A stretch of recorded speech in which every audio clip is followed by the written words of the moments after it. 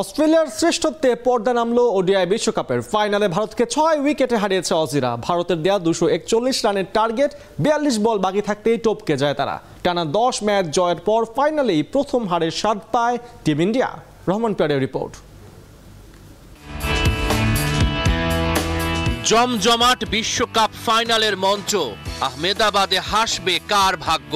রোহিত কোহলি রব স্টেডিয়াম জুড়ে তারার মেলা গ্যালারিতে। সচিন টেন্ডুলকার দু বিশ্বকাপের জার্সি উপহার দিলেন বিরাটকে।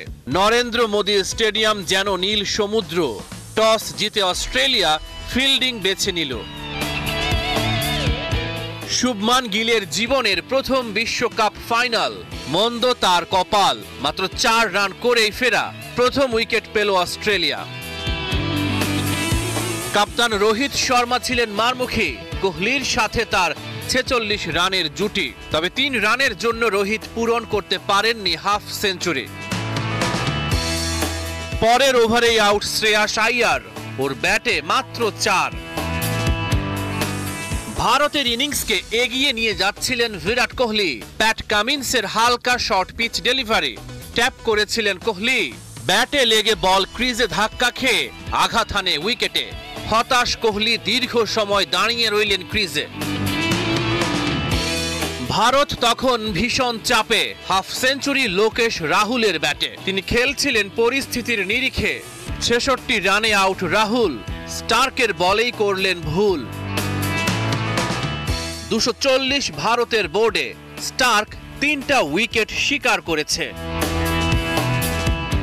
জবাবে দ্বিতীয় ওভারে উইকেট হারায় অস্ট্রেলিয়া, স্বামীর বলে ডেভিড ওয়ার্নারের ফেরা। পঞ্চম ওভারে আঘাত হানেন জসপ্রীত বুমরা, মিশেল মার্শকে আউট করে আনন্দে উদ্বেল টিম ইন্ডিয়া। স্মিথকেও টিকতে দিলেন না বুমরা, সাতচল্লিশ রানে তিন উইকেট হারিয়ে চাপে অস্ট্রেলিয়া। কিন্তু ট্রাভিস হেডের ফিফটি অস্ট্রেলিয়াকে স্বস্তি দেন তিনি। ভারতের স্বপ্নকে গুঁড়িয়ে দেন ট্রাভিস হেড পঁচানব্বই বলে তার সেঞ্চুরি। তিনিই হলেন অস্ট্রেলিয়ার জয়ের কাণ্ডারি। আবারও ক্রিকেটের রাজা অজিরা। ষষ্ঠবার বিশ্বকাপ জিতল তারা। রহমান পেয়ার, একাত্তর। বিশ্বকাপ ফাইনাল চলাকালীন অভূতপূর্ব দৃশ্য দেখল ক্রিকেট বিশ্ব। ফিলিস্তিনের পতাকা হাতে এক কিশোর হঠাৎই মাঠে অনুপ্রবেশ করে ফিলিস্তিনের ঘটে যাওয়া নৃশংসতার প্রতিবাদ জানায়। ভারতের ইনিংস চলাকালীন কোহলির দিকে ছুটে আসে ওই কিশোর। তার টি শার্টে ছিল ফিলিস্তিনের পক্ষে স্লোগান। এমন ঘটনায় তাৎক্ষণিক তাকে মাঠ থেকে সরিয়ে নেন নিরাপত্তা রক্ষীরা বিস্তারিত রিপোর্টে। আমি দুর্বার, আমি ভেঙে করি সব চুরমার, আমি অনিয়ম উশৃঙ্খল, আমি দলে যাই যত বন্ধন, যত নিয়ম কানুন শৃঙ্খল। আমি বিদ্রোহী আমি বিদ্রোহী সুত বিশ্ববিধাত্রীর বলবীর চির উন্নত মমশির। ফিলিস্তিনের নৃশংসতা, গণহত্যার প্রতিবাদে বিশ্বকাপ ফাইনালে এ যেন এক কিশোরের নীরব প্রতিবাদ। কোনো স্লোগান নয়, স্তব্ধ মুখে এসে দেখিয়ে গেল কীভাবে একটা জাতি হচ্ছে নিপীড়িত। নিরাপত্তার কঠিন বেষ্টনীকে উপেক্ষা করে এক দৌড়ে সেই কিশোর ছুটে এলো তার স্বপ্নের নায়ক বিরাট কোহলির দিকে। জাপটে ধরে কোহলিকে কি বলেছে তা শোনার উপায় নাই। কিন্তু যে বার্তা দিল তা শুনেছে বিশ্বের সবাই। ভারতের ইনিংসের চোদ্দতম ওভার, ক্রিজে বিরাট কোহলি আর কে এল রাহুল। এমন সময় সাদা টি শার্ট আর হাফ প্যান্টে সেই আগন্তুকের মাঠে অনুপ্রবেশ। হাতে ফিলিস্তিনের পতাকা, সাদা টি শার্টে সামনে লেখা, স্টপ বোম্বিং প্যালেস্টাইন আর পেছনে, ফ্রি প্যালেস্টাইন এমন ঘটনায় কিং কর্তব্য বিমূঢ় হয়ে পড়েছিলেন কোহলি। শুরুতে তাকে থামান, চেষ্টা করেন ফেরাতে। কিন্তু সেই কিশোর ফেরে কি করে? মুখে ফিলিস্তিনের পতাকা দিয়ে বানানো মাস্ক না বলেও জানিয়ে গেল ফিলিস্তিনের প্রতি বিশ্ব মোড়লদের উপহাস। এই ঘটনা প্রচার করেনি সম্প্রচারকারী টেলিভিশন, তবে লাখো মানুষের উপস্থিতিতে একটা মুহূর্ত হারায়নি। শেষমেশ সিকিউরিটিদের তৎপরতায় ওই কিশোরকে মাঠ থেকে সরিয়ে নেওয়া হলেও অভূতপূর্ব ঘটনার সাক্ষী হয়ে রইল বিশ্বকাপের মেগা ফাইনাল। পার্থবণিক একাত্তর।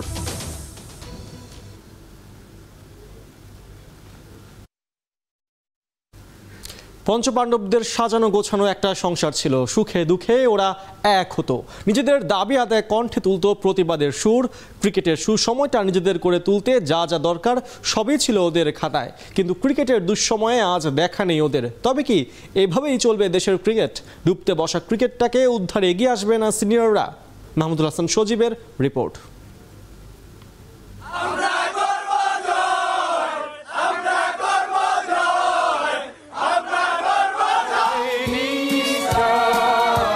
সেদিন ওরা কাঁধে কাঁধ মিলিয়ে হাতে হাত রেখে একই সুরে গাইছিল বিজয় ছিনিয়ে আনার গান। মনে প্রাণে শপথ করছিল, আমরা করব জয় একদিন। কিন্তু জয় তো দূরের কথা। দেশের ক্রিকেটে আজ উঠছে ভাঙনের সুর, বিচ্ছেদের হাওয়া বয়ে বেড়াচ্ছে সর্বত্র। আমার সোনার বাংলা, আমি তোমায় ভালোবাসি। এ নেহাতি একটি জাতীয় সংগীত নয়, এ এক আবেগের নাম, এ এক ভালোবাসার নাম। দায়িত্ববোধের নাম, যা এক করে কোটি বাঙালিকে। টাইগারদের মধ্যে তৈরি করে বিজয় ছিনিয়ে আনার প্রত্যয়। হাতে হাত রেখে ওরা চলে দুর্বার, ভেঙে দেয় প্রতিপক্ষের দেয়াল। কিন্তু আজ যে সেই লাল সবুজের ঘরই ভাঙতে বসেছে, অনিশ্চয়তার চাদরে ঢাকা পড়ছে বাংলা।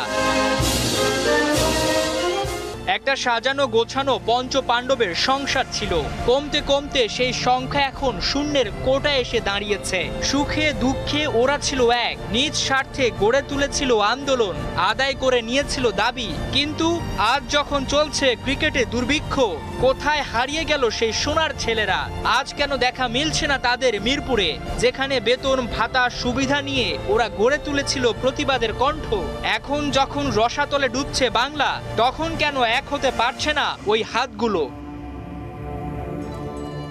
দেশের ক্রিকেট আজ যখন আইসিইউতে মুমূর্ষ অবস্থায়, তখন টাইগার ক্রিকেটের প্রধান অভিভাবকের নিকট খেলা যোগের খোলা চিঠি। প্রিয় পাপন ভাই, ক্রিকেট নিয়ে আপনার ভাবনা, পরিশ্রম, অধ্যাবসায়, অনস্বীকার্য। যতবারই ক্রিকেটে নেমেছে কালো রাত্রি বাংলার প্রাচীর হয়ে আপনি তৈরি করেছেন বলয়। ক্রিকেটে আপনার যেমন আছে অবদান, তেমনি আজ ডুবতে বসা টাইগারদের উদ্ধারে আপনাকে বড্ড প্রয়োজন। আজ কোচ নির্বাচক নিয়ে হচ্ছে তুমুল আলোচনা, ভেঙে যাচ্ছে সুখের সংসার। নিশ্চয়ই এমন দুঃসময়ে আপনার ওই ক্রিকেটীয় মনটা ভালো নেই। কিন্তু আপনি তো শিখিয়েছেন দুঃসময় ক্রিকেটারদের কীভাবে ঘুরে দাঁড়াতে হয়। যা হয়েছে সবটাই অতীত, ব্যর্থতার পরেই তো সফলতা ধরা দেয়। সব সমালোচনাকে আপনি পারেন সমাধা করতে। সিনিয়ররা তো চলেই যাবে কদিন পরে। এরপর ওই ঘরটা যে তাদের বড্ড মিস করবে, তাদের অপূর্ণতা পূরণে এখনই নিতে হবে কার্যকরী পদক্ষেপ। নতুন করে সাজিয়ে তুলতে হবে সংসার। যা যা পরিবর্তনের এখনই করে নিয়ে নতুন উদ্যমে চলতে হবে পথ। ভেঙে পড়ার আগে সিনিয়র ক্রিকেটারদের ডেকে শুনতে হবে তাদের পরিকল্পনা, তাদের অভিজ্ঞতা আর ভবিষ্যৎ প্ল্যান অনুযায়ী সাজিয়ে তুলুন বাংলার ক্রিকেট। কারণ ওরা যে করতে চায় সবটা জয়। ওরাই তো বলেছিল, হবে নিশ্চয়। চিঠির বাকি অংশটা পঞ্চ পাণ্ডবের উদ্দেশ্যে লেখা। প্রিয় পঞ্চ পাণ্ডব জানি ক্রিকেটের এমন দুঃসময় দিল ভালো নেই আপনাদের। হতাশার সাগরে ডুবছে আপনাদের মন। আপনাদের মতো টাইগার ফ্যানরাও আজ হতাশায় নিমজ্জিত। তাই মুখ ফিরিয়ে নিচ্ছে ওরা। আপনারা নিশ্চয় চান না, এভাবে সবাই মুখ ফিরিয়ে নিক। ক্রিকেটটা রূপ নিক জিম্বাবুয়ে, কেনিয়ার মতো। রক্তে মেশা খেলাটাকে এত সহজে নিশ্চয়ই হারিয়ে যেতে দেবেন না। ঠিক বাংলার ফুটবলটা যেভাবে হারিয়ে গেছে। ক্রিকেটের সুসময় আদায় করে নিতে আপনাদের এক হতে দেখেছে গোটা দুনিয়া। নিশ্চয়ই সেই দিনটা ভুলে যাননি আপনারা। একুশ অক্টোবর দু হাজার উনিশ সালে মিরপুরে বেতন, ভাতা, সুবিধা আদায়ে আপনাদের আন্দোলন পুরো নাড়িয়ে দিয়েছিল ক্রিকেট মহলকে। তাহলে আজ যখন ব্যর্থতার সাগরে ডুবছে ক্রিকেট, তখন কেন ইগো নামক জিনিসটাকে জায়গা দিচ্ছেন মনে? কেন এক হতে পারছেন না? কেন ওই অন্যায়গুলো মেনে নিচ্ছেন? দলের মধ্যে সকল অনিয়মকে কেন রোধ করতে আপনাদের এক হতে দেখা যাচ্ছে না? আপনারা নিশ্চয়ই জানেন, বাংলার ক্রিকেটের ভবিষ্যৎ পথ চলাটা যে খুব সহজ নয়। নয়া একটা দল নিয়ে আগানো সত্যি বেশ কঠিন হবে। এমন সময় আপনাদের হাতগুলো এক হওয়া খুবই জরুরি। ক্রিকেট বোর্ডের সাথে আলাপ করে নির্বাচক, কোচ সহ যাবতীয় সমস্যার সমাধানে আপনাদের ভূমিকা অসীম। আপনারা তো ঠিকই অবসরে চলে যাবেন। নিশ্চয় চাইবেন না যে ঘরে এত বছর ছিলেন, সেই সংসারে অশান্তি লেগে থাকুক। যে সকল সমস্যার মুখোমুখি হয়েছেন আপনারা, তা মোকাবেলা করুক জুনিয়ররা। একটা বিশ্বকাপে ব্যর্থতা মানেই তো সব শেষ নয়। তাই সকল ইগো, ক্ষোভ ঝেড়ে এক ছাদের নিচে বসে নিন সিদ্ধান্ত।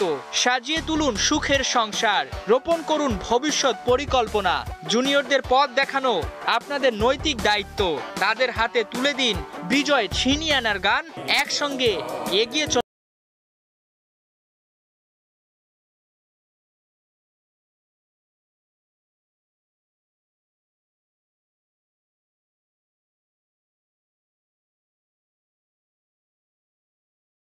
ব্যারিস্টার সাইদুল হক সুমন, ফুটবলের ফেরিওয়ালা খেতাব আগেই পেয়েছেন। পেশায় আইনজীবী হলেও কাজ করে গেছেন সমাজের দর্পণ হয়ে। অনিয়ম অসঙ্গতির বিরুদ্ধে আওয়াজ তুলেছেন সামাজিক যোগাযোগ মাধ্যমে। আওয়ামী লীগ থেকে হবিগঞ্জ চার আসনের জন্য মনোনয়ন দেওয়া হলে এলাকার উন্নয়নের পাশাপাশি ফুটবলের জন্য কাজ করার কথা জানান তিনি। অর্ণব্যাপী রিপোর্ট। তাদের জন্য আল্লাহর কাছে দোয়া করেন, এরা প্রকৃত এরাই মানুষ। মানবতার বন্ধু হয়ে সাধারণ মানুষের সমস্যা সমাধানে ছুটে গেছেন দেশের নানা প্রান্তে। কখনো নেমেছেন বুক পানিতে। আপনারা এখানে আশ্রয় নিছেন। ফেসবুক লাইভে এসে একের পর এক দৃষ্টান্ত তৈরি করা মানুষটা ব্যারিস্টার সুমন। তার যুদ্ধটা সমাজের অনিয়ম অসঙ্গতি আর অব্যবস্থাপনার বিরুদ্ধে। একাডেমি বানানোর দরকারটা কি মহাসড়ক থেকে শুরু করে ময়লার স্তূপে দাঁড়িয়ে তুলে ধরেছেন বাস্তব চিত্র। সুমনের প্রতিবাদী কণ্ঠস্বরের সাথে একমত প্রকাশ করেছে সাধারণ মানুষ। টনক নড়েছে প্রশাসনের। সমস্যার সমাধান হয়েছে কয়েক ঘণ্টার মধ্যেই। এই ভিন্নধর্মী চেষ্টার কারণে ব্যারিস্টার সুমন পেয়েছেন পরিচিতি। এবার হতে চান তিনি জনপ্রতিনিধি। দ্বাদশ জাতীয় সংসদ নির্বাচনে অংশ নেয়ার জন্য আওয়ামী লীগের মনোনয়ন ফর্ম নিয়েছেন ব্যারিস্টার সুমন। আওয়ামী লীগের অনেক হেভিওয়েট প্রার্থীদের অনিয়ম নিয়ে আপনি কথা বলেন। তারপরেও কেন দল থেকে আপনাকে মনোনয়ন দেবে? আপনার প্রত্যাশা কতটুকু? একটা কথা বলি। প্রতিবাদ করার তো শিখছি আমি বঙ্গবন্ধুর আদর্শ থেকে। আর নেতৃত্ব হচ্ছে কি আমার নেত্রী জননেত্রী শেখ হাসিনা। যিনি সবাইকে কাউকেই পাত্তা না দিয়ে পদ্মা সেতু বানাইছেন, যিনি সারা পৃথিবীর বিরুদ্ধে লড়ার সামর্থ্য রাখেন, এই মানুষ যার নেতা, আমি বিশ্বাস করি জননেত্রী শেখ হাসিনারে অত সহজে ভুল বোঝানো যাবে না। এবং উনি যে সিদ্ধান্ত নেবেন, এটা আমি মাথা পেতে নিই। করোনার সময় গড়া ফুটবল একাডেমি থেকে তৈরি হয়েছে প্রায় পঁয়ত্রিশ জন জাতীয় লেভেলের ফুটবলার। গোটা দেশে ছড়িয়ে দিতে পেরেছেন ফুটবলের উন্মাদনা।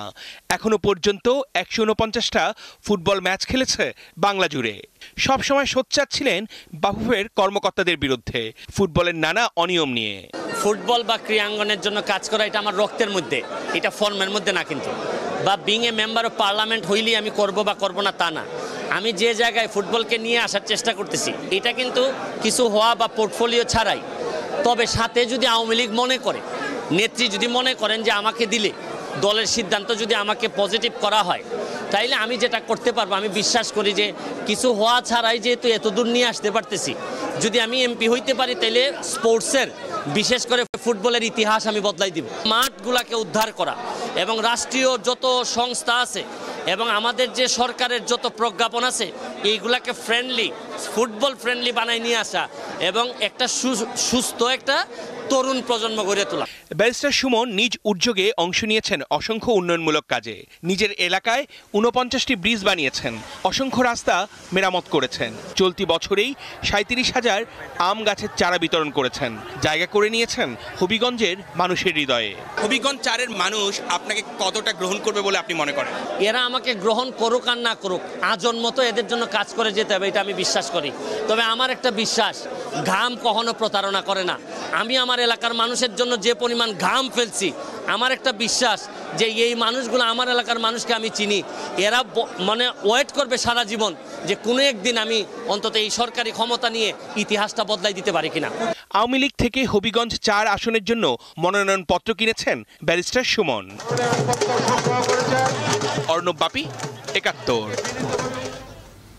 ফিফা বিশ্বকাপ বাছাই পর্বে লেবাননের বিপক্ষে ম্যাচ খেলতে প্রস্তুত হচ্ছে বাংলাদেশ জাতীয় ফুটবল দল। দেশে ফিরে প্রথমবারের মতো ক্লোজ ডোর অনুশীলন সেরেছে হাবিয়ার কাবরেরার শিষ্যরা। মঙ্গলবার বাছাই পর্বের দ্বিতীয় রাউন্ডের দ্বিতীয় ম্যাচ খেলতে ইতিমধ্যে বাংলাদেশে এসেছে লেবানন। মাঠেও ঘাম ছড়িয়েছে একাধিক সেশন। অস্ট্রেলিয়ার বিপক্ষে ম্যাচে হলুদ কার্ড পাওয়ায় এই ম্যাচে খেলতে পারবে না বাংলাদেশের ফুটবলার রাকিব হোসেন আর সাদউদ্দিন। তবে কার্ড জটিলতা কাটিয়ে ফিরেছেন মিডফিল্ডার সোহেল রানা। সোমবার বসু- বসুন্ধরা কিংস অ্যারেনায় ম্যাচ পূর্ববর্তী সংবাদ সম্মেলন করবে দুই দল। ইউরো বাছাই হোম ম্যাচে কিলিয়ান এমবাপের হ্যাট্রিকে বড় জয় বাগিয়ে নিয়েছে ফ্রান্স। ক্লিন শিট রেখে জিব্রালাটারকে চোদ্দ গোল দিয়ে টানা সপ্তম জয়ের দেখা পেয়েছে তারা। প্রথমার্ধেই সাতবার জিব্রাল্টারের জালে লক্ষ্যভেদ করে স্বাগতিকরা। ম্যাচে ত্রিশ মিনিটে পেনাল্টি থেকে নিজের প্রথম গোলের দেখা পান কিলিয়ান এমবাপে দ্বিতীয়ার্ধেও ফরাসিদের একচেটে আধিপত্য, জিব্রাল্টারকে আরও সাত গোল হজম করিয়ে ছাড়ে দিদিয়ের দেশমের দল। ম্যাচের শেষ ষোলো মিনিটে আরও দুটি গোল করে নিজের হ্যাট্রিক তুলে নেন এমবাপে এই ছিল এখনকার খেলাযোগে সরাসরি সংবাদ অনুষ্ঠান দেখতে থাকুন একাত্তরের ফেসবুক পেজে এবং সাবস্ক্রাইব করুন একাত্তরের ইউটিউব চ্যানেল একাত্তরের সাথেই থাকুন।